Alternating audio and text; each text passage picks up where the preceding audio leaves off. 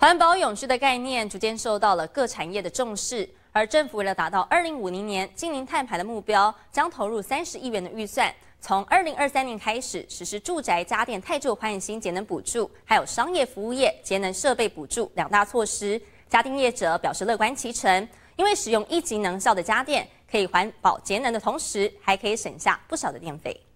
节能省电。年末将至，不少家庭都会趁着大扫除的同时，把家电太旧换新。而政府为了实践二零五零年近零碳排的目标，再度推出家电太旧换新节能补助计划，补助金额是历年最高。非常赞同政府这项政策，鼓励消费者使用节能的家电产品，每年可以大规模的节省电力。住宅家电太旧换新节能补助从一百一十二年的一月一日起正式开跑，消费者只要选购能源效率一级的冷暖气机或是电冰箱，每台都能补助三千元。另外，在一百一十二年六月十四号以前，还有减征货物税两千元，等于补助最高可以达到五千元。预计补助六十四万台家电产品，将可减少三十三点九二万吨的碳排放量，让近零目标更进一步。把冷气。内部洗干净，